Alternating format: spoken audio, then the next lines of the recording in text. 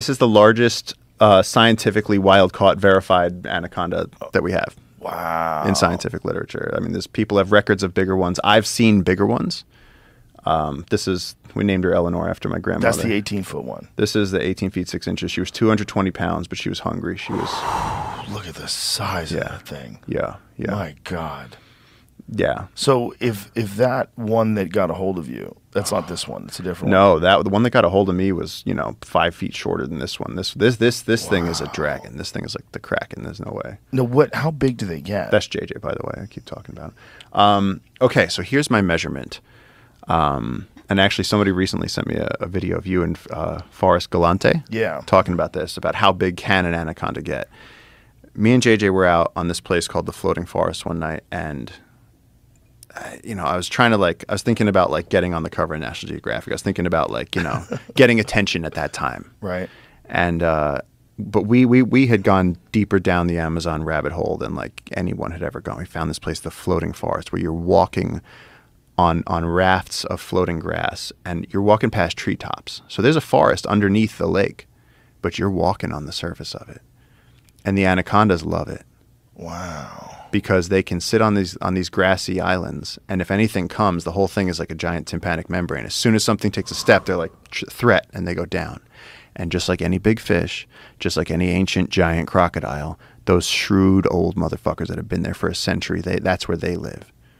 And so we were out there at like two o'clock in the morning, and we're walking on these grassy rafts, and JJ's going, "This is anaconda," and I went, "That is not anaconda," because the the grass was pushed down, but it was like it was this big, and I was like, "This this can't be anaconda." And He's going, "This is." He goes, "If it was a crocodile," he goes, "You'd see the, you know, the feet," and I was like, "It just can't be." And then at like middle of the night, the stars are shining in the in the the black water and everything, and we're by the tops. We're in the canopy of a forest on top of a lake, and we see two anacondas.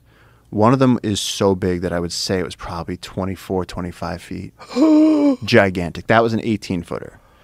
Then there was like another, like a 16 footer on it. And my first response was, we have to catch this snake. And so I jumped on it. I just didn't think about it. I just jumped on the snake. Oh my God. and and so the snake and you know i always say like you know pixar it didn't happen but th- this was the middle of the night i jumped on the snake and as i'm holding it the one measurement i have is that i was holding onto the snake and my fingers couldn't touch that's how What? that's how big this thing was and so it dra- What? it dragged me to the edge of the grass What? that big Oh my That big. God. Oh my God. Your Yeah. fingers couldn't touch. yeah so like i Oh was my God.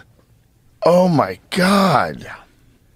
Dude, that's so big. It's so fucking big. And people said, "Oh, did it eat something?" And it's like, "No, that was that was the that was how big the snake was." And I know because when she got to the edge, to the edge of the grass, I dipped in head first. And this snake could have turned around and just eaten me. She didn't. Her head was like bigger than a Rottweiler. It's bigger than Marshall's. oh my God. Um, but she dove into the water. Her idea is just escape, you know, stay alive. So she goes down, and I, my face poked into the water, and I was like, "Fuck that!" You know, you start, you, you look straight down into hell down there.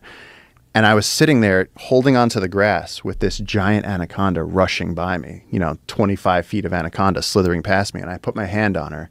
And as she went by, my hand eventually went, and then her tail slipped by me. And I was just, just alone in the dark in the Amazon. And I just seen this dragon. And then I turned around and went, What the fuck happened to JJ? And JJ's just standing there and he turned completely white. And he was just, his circuits were blown. He was like, and I was like, You could have helped. I was like, You could have helped, man. So can you, uh, you just help me out here? So there, the the treetops essentially there's water Yeah. under the treetops. So you're walking on the treetops. So how deep is the water below you? Like 30, 40 feet.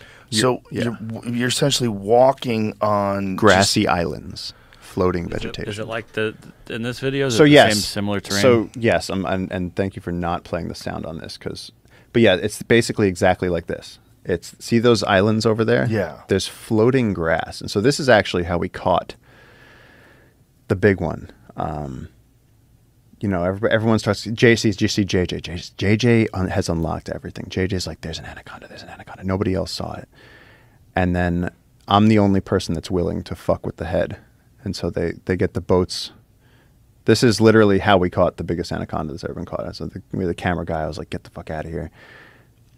And I just remember in this moment being like, "Do I really want to do this? Do I really like? Did I do I really want to do what I signed up to do? Do you see it in the grass? I can see it here. I can see it here, and I'm I'm just going. Please, I wish. Can I can I can I turn back? And so, for the people just listening, you're standing on the edge of the boat. You jump off into the grass and you run. And And thankfully, I have a good- yeah. GoPro on. Yep. And then you see there's my team. Boom, boom, boom. Everybody jumping in. So we had all these people that have all handled big snakes before coming in. And see, I don't have the head. We didn't have the head. JJ had the tail. JJ got the tail. This guy Jonas had the tail. Mosin had the tail. Lee had the tail. Everybody's holding on to the snake. We're using the boat to keep ourselves up. And then I got the head. Whoa! And then as soon as I get the head, I know I'm going to get wrapped again. Oh my god! I mean, this is like, look at it. This is like, And, and this is the 18 footer. yeah, this was the 18 footer. So. Oh, look at the size of this thing. Yeah, so when people are like, "Why didn't you catch the 25 footer?" I'm like, "Well, The look, look at difference this." in just like I'm seeing how big this is. It's unbelievably big, and the idea that something was almost 10 foot bigger than this yeah, and much thicker around. much much thicker around. This girl was skinny. Oh my god! Um, yeah, in a second, in a second, they'll show us walking with her, that is so um, wild. and you get a sense of really how big she is. But and you got to keep a hold of that. That bitch is gonna swallow your head. Yeah, yeah, yeah. Look at it. Look at what is that feeling like where you're holding onto the head of that thing? Yeah, no, it's completely, completely wild. And it was just, I honestly, in that moment, it was like you want your best friends there, because man, that was that was scary. That was very scary. And so, what is the plan? What do you do with this once you capture it? Do you measure it and then let it go? Yeah, so for this one, um, here, look, there's a shot. There's a shot coming up where we like we kind of have her stretched out for a second, but Oh with this one, we put a radio transmitter down her throat, and we were able to track her movements to learn about the home ranges of female anacondas. So she swallows it. yeah, it's just like a like a big pill. Oh wow! How big? like that. a Zippo lighter? Sure, yeah. Look at that. Look at that head. Oh my god! Look at the teeth. Yeah, they were like, that's the queen of the Amazon.